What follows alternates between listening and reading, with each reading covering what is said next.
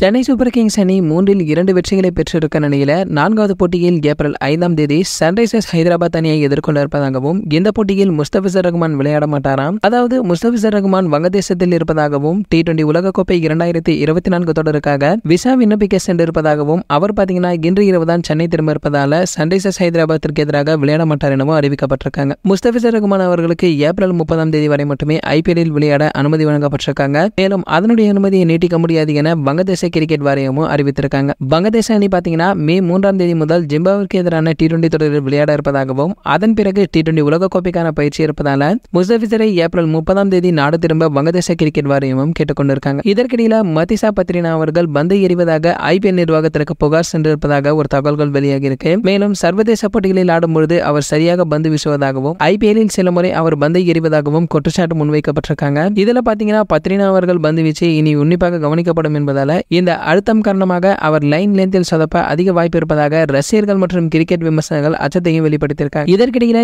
April முப்பதாம் தேதியுடன் சிஎஸ்கேவில் இருந்து விலகவுள்ள முஸ்தபிசருக்கு மாற்றாக ஆஸ்திரேலிய வேகப்பந்து வீச்சாளர் ஜாஸ் ஆசிலூட்டை சேர்க்க வாய்ப்பு இருப்பதாகவும் தகவல்கள் வெளியாகி இருக்கு சரி ஓகே இது போன்ற கிரிக்கெட் பற்றி வெளியாகும் அனைத்து செய்திகளை நீங்க உடனே தெரிஞ்சுக்க நம்மளுடைய கிரிக்கெட் நியூஸ் அப்டேட் நம்ம சேனலை சப்ஸ்கிரைப் பண்ணிக்கங்க. பக்கத்தில் உள்ள பில்லைக்கான கிளிக் பண்ணிட்டீங்கன்னா நீங்க நம்ம வீடியோவை மிஸ் பண்ணாம பார்க்கலாம்.